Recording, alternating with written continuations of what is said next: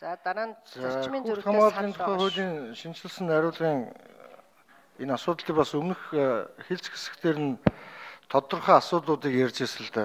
Тэгэхээр тэр асуудлууд маань ер нь хэрхэн орсон юм бэ? Хэрхэн өөрчлөгдсөн бэ? Тэн дээр бол одоо гişүүд олон байр суурьуудыг илэрхийлж ирсэн. Монгол улс бол э, одоо Аз соёлтой улс орн.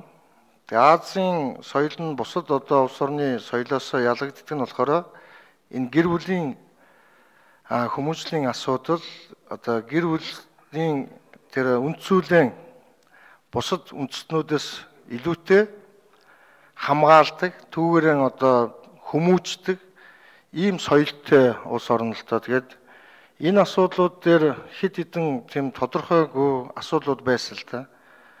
А энэ асуудлуудын нэг бол одоо хүүхэд одоо эцэг эхээс татгалзах гэсэн заал ойлголт энэ хуулинд орж ирсэн. Энэ асуудал маань өмнөхдөө хэвээрээ байгаа юу? Ажлын хэсэг энэ дээр бас гişүүдийн саналуудыг сонсож энэ татгалзах гэдэг ойлголт дээр ямар ойлголтыг одоо а өөрчилж оруулж ирж байгаа вэ гэдгийг бас та бүхнээс асууя. За ер нь монголчуудын одоо хамгийн чухал асуудал бол мэдээж одоо хотынхан ба хөдөөнийхэн гэдэг хоёр юм үндсэн уламжлалт соёл нь одоо ингээ өөрчлөгдөд явж байгаа.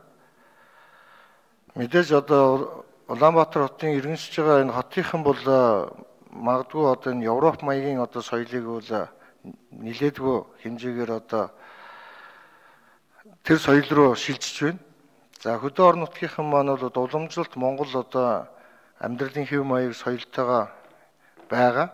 Тэгэхээр энэ хоёрын хооронд бас зарчмын одоо маш их зөрөөнүүд бол сүүл үед гарч ирж байгаа.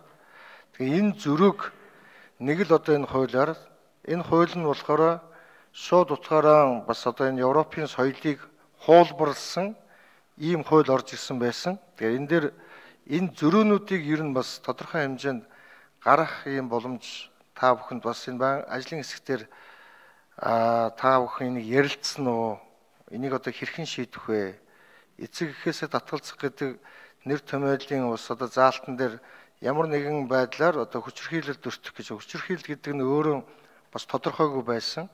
Энийг тодорхой болгосноо үр хөвгтөн одоо сургууль сургууль хүмүүжүүлэхдээ ямар нэгэн одоо алганы ямт үзүүлснийхэн төлөө тэр хүүхэд гомдол гаргуул одоо эцэгхээсээ татгалзах ийм боломж өмнөх одоо та бүхний өргөн барьсан хуулийн дээр байрсал та. Тэгээ одоо зарчмын зөрүүтэй саналууд хилцэх бах энэ дээр бас энэ асуудлууд орсноо гэдгийг бас тодруулъя.